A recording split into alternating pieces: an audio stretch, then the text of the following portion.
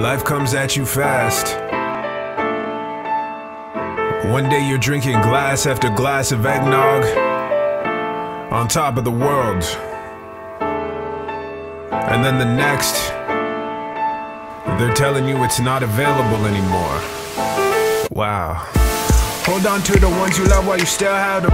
The snog disappeared like it was a phantom. I get emotional looking at these empty shelves. Desperation grows, I know this is hell. I should have been aware. Shouldn't have acted like you'd always be there. I should have stocked up, had enough for the rest of the year.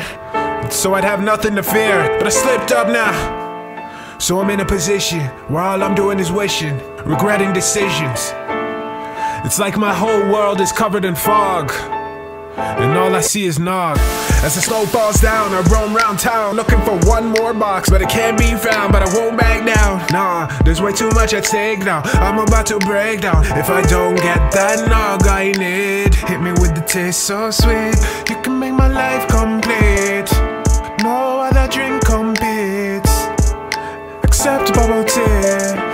Now I sit here broken hearted. Just wanna go back to where we started. The only thing I think when we part is What am I supposed to do with no nog? What am I supposed to do with no nog?